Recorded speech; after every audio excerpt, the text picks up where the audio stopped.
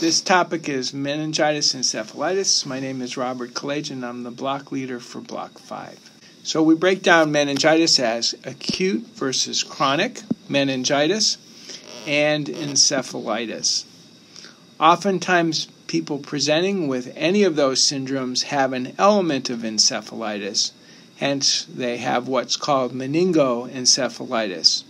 But in the pure form, meningitis is localized to the meninges with headache and stiff neck. Acute meningitis will present over the course of a few hours or less than a few days, while chronic meningitis typically presents over the course of many days and sometimes several weeks. Encephalitis in its pure form may present acutely or chronically in the absent with the absence of meningeal signs or symptoms, um, but significant changes in behavior, personality, and alertness.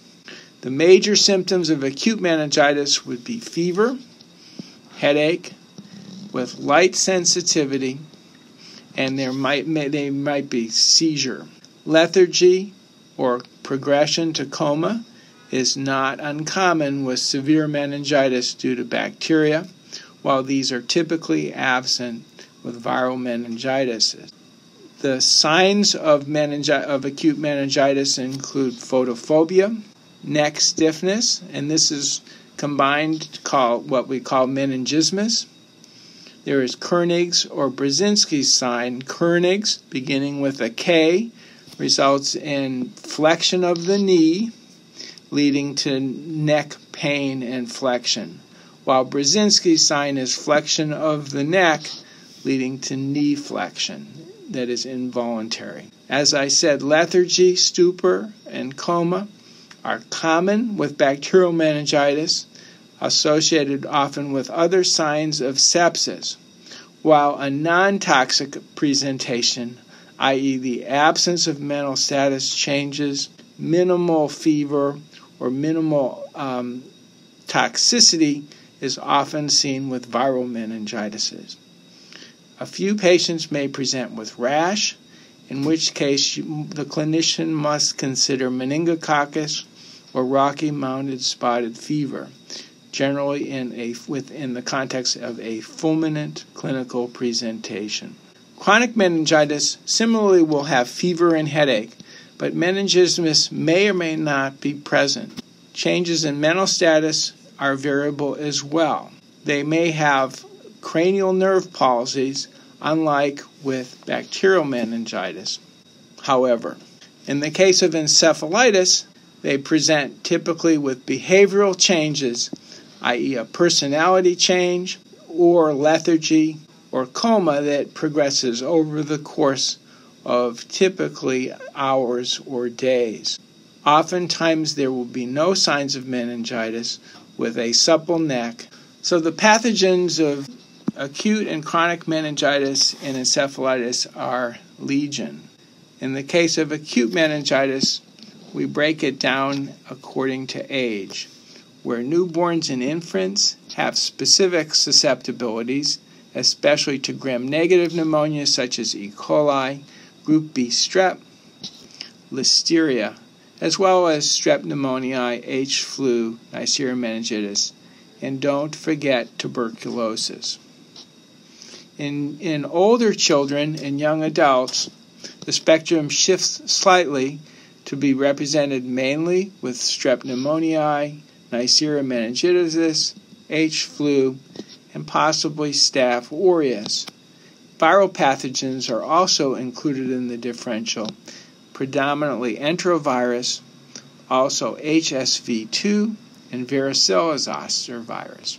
In, in adults and elderly individuals, strep pneumoniae, Neisseria meningitis, H. influenza are also present, but Listeria is again seen.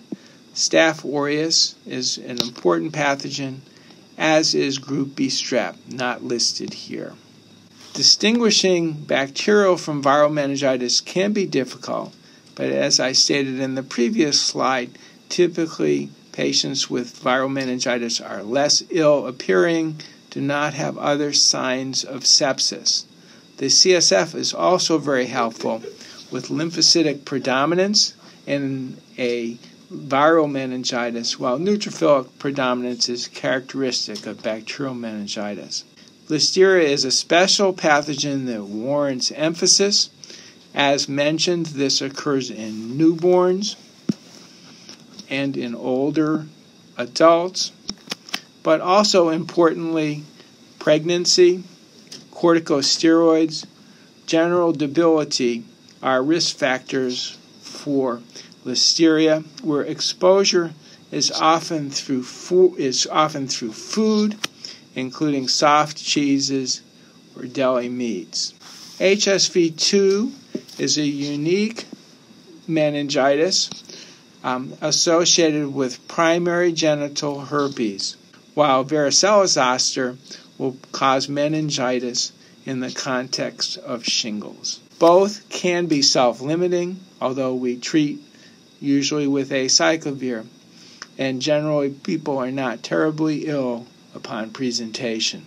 Chronic meningitis, on the other hand, has a very diverse group of pathogens according to very different hosts. In the general population, one considers Borrelia burgdorferi, the agent of Lyme disease, syphilis, and tuberculosis among some of the more common causes in persons without immunodeficiencies. In the cellular immune deficient host, tuberculosis is a predominant pathogen, as are fungal infections due to cryptococcus, coccidiomycosis, or histoplasmosis. And syphilis also emerges because of the immune compromised host's inability to clear that pathogen from the CSF. Uniquely, in the case of injection drug users, mucormycosis is emerging as a major cause of chronic meningitis that must be recognized. Of note, interestingly, in the case of coccidiomycosis, Filipinos, African Americans, and Native Americans have a predisposition to disseminated coccidia as well as the cellular deficient host. Encephalitis, in the absence of meningitis, is due most importantly to herpes simplex type 1 and the arboviruses that we will consider separately under the special consideration slide. In addition, though, newborns have congenital infection from herpes simplex virus 2 CMV, rubella, varicella, toxo, syphilis, and young children and newborn are particularly susceptible to cerebral malaria, which may present as a septic like picture with encephalitis. Young children and excuse me, children and young adults may have encephalitis due to a variety of pathogens including mumps, measles, mycoplasma, which is a post infectious sequelae of mycoplasma, usually pneumonia, and scratch disease or Bartonella. Finally, older individuals are particularly susceptible to encephalitis due to West Nile virus, which will occur generally in the summer. So, treatment of meningitis obviously depends on the pathogens that you are suspecting. In the case of acute meningitis, it's imperative to cover for strep pneumoniae, H flu, and Neisseria meningitis with ceftriaxone.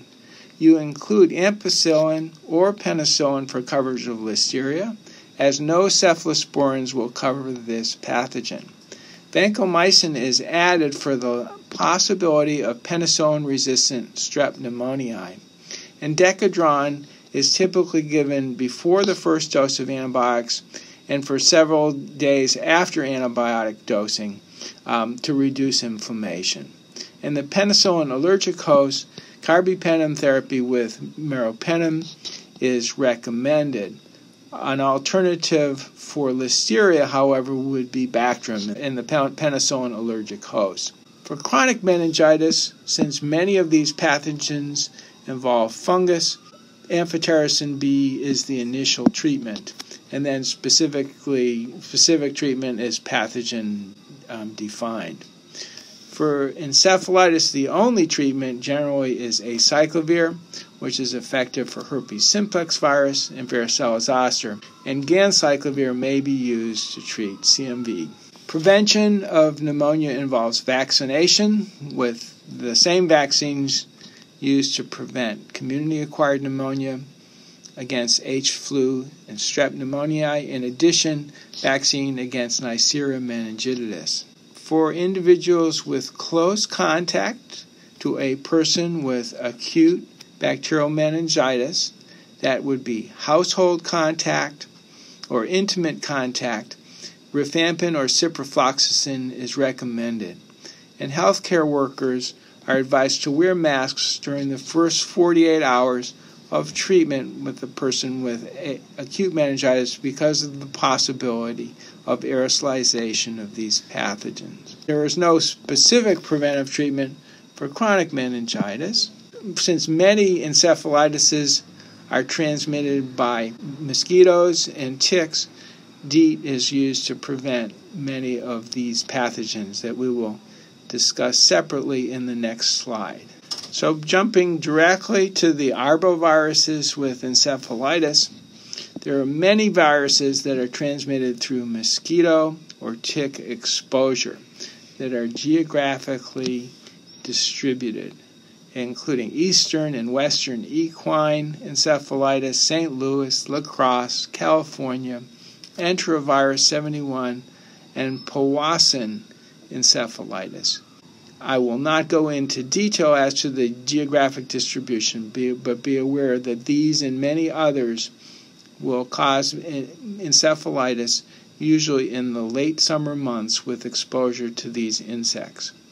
People traveling to the Far East are potentially at risk for Japanese encephalitis, usually in areas of China usually rural areas of China. Such people should receive vaccination prior to travel. Jumping back to acute meningitis, there are important specific considerations that the clinician should keep in mind. First of all, subdural empyema, which is an abscess usually extending from the frontal or nasal sinuses extending into the brain, may mimic bacterial meningitis. And it's critical to recognize this because surgery is mandatory. In addition, individuals that receive neurosurgical interventions, including craniotomies or even spinal surgery, are at risk for healthcare associated or neurosurgical associated meningitis, where the pathogens are very different, including Staph aureus with MSSA or MRSA Enterobacteriaceae, and Pseudomonas. And treatment is different, targeting these pathogens with vancomycin, meropenem, or ceftazidime. Consider Rocky Mountain spotted fever, which may present as an acute meningoencephalitis with rash, for which the treatment is doxycycline, and consider leptospirosis, which may present with acute meningoencephalitis, jaundice, and hepatitis. Finally, headache is a predominant feature with malaria, dengue, and acute HIV. These are all syndromes that where meningitis is, is mimicked but is not involved. In the case of chronic meningitis, one also must consider non infectious causes, including sarcoidosis, drug induced due to drugs such as nonsteroidals and Bactrim, and autoimmune processes, including lupus Behçet's, or multiple sclerosis. So, in summary, meningitis and encephalitis are caused by a diverse array of infectious and non infectious pathogens. It is critical to recognize the life threatening bacterial meningitis, distinguish this from subdural empyema, or recognize mimics of meningitis, including malaria, dengue, acute HIV. Chronic meningitis can be easily missed because it may be indolent, and consideration of host susceptibilities, such as underlying immune deficiency, is critical. Encephalitis may be due to simplex type 1, which is a treatable and potentially reversible cause of encephalitis, while many other viruses which are not treated still should be recognized to avoid unnecessary further testing and establishing prognosis.